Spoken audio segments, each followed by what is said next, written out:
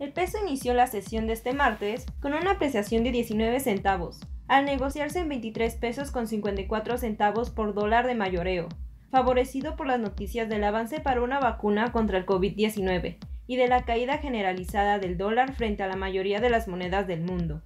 A la moneda mexicana también le favorece la alza del precio del West Texas Intermediate, 2.86%, para cotizarse en 32.7 dólares por barril.